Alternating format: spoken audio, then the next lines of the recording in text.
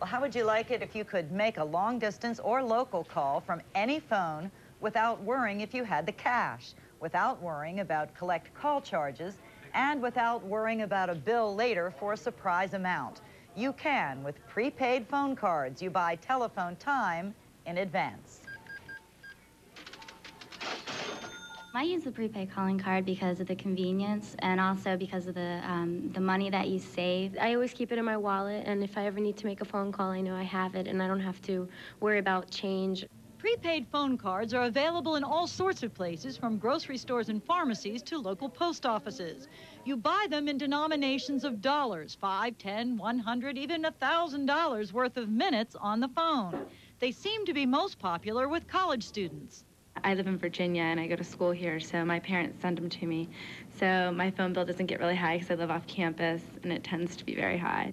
Prepaid phone cards have been around for years. In fact, some marketers give them away free as promotional items, but only one in 20 of us use them. I think consumers were concerned because they just didn't understand how they operated. They were afraid they were a scam fear of something new. Now, sometimes that's healthy, but in this case, it could cost you money. So let's learn how to use these prepaid phone cards together. First, you don't need any change. You can make a call from any phone, a pay phone like this, a hotel phone, or a home phone. You just simply dial in the 1-800 access number written on the back of the card.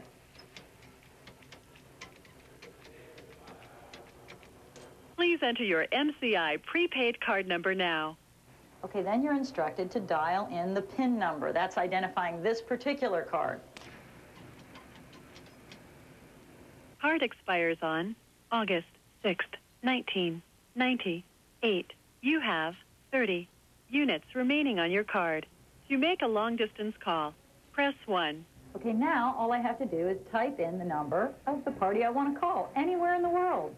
It really is that easy. Just follow the instructions on the card. Many card services give you a warning when your card is running out so you, you can say goodbye. How can calling cards save you money?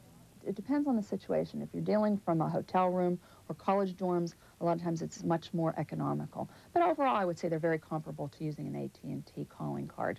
Um, but if you're getting them free, obviously, then it's a big savings for consumers to get all those free hours and minutes. While prepaid phone cards can be a convenience, there are pitfalls.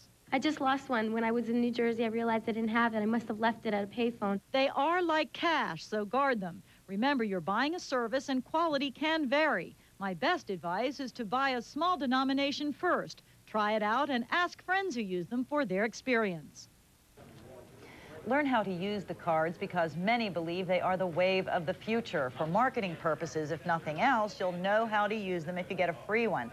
So learn how to use that free time in case it comes your way. And Ken and Jen, the reason a lot of the businesses like to use them for marketing tools is when you call this access number, sometimes they'll put a little company jingle or something in there that you hear before you actually access the phone number. Mm -hmm. And also every time you pick it up, the company name is on the front, mm -hmm. so you'll be reminded of them.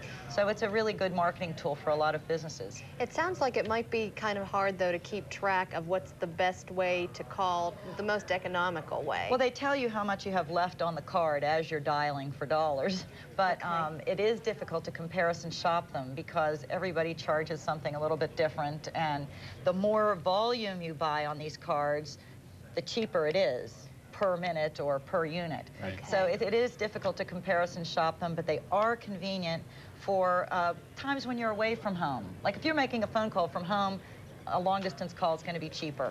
But if you're not going to be at home and you don't want to, uh, you want to avoid the collect call charges and all that other stuff, these can be cheaper and more convenient. You Except for college phone. kids. It's great yeah, for the kids when yeah. you don't want to have them put phone calls on somebody else's bill. They sure. can still call mom. See, that's the idea. hint, hint.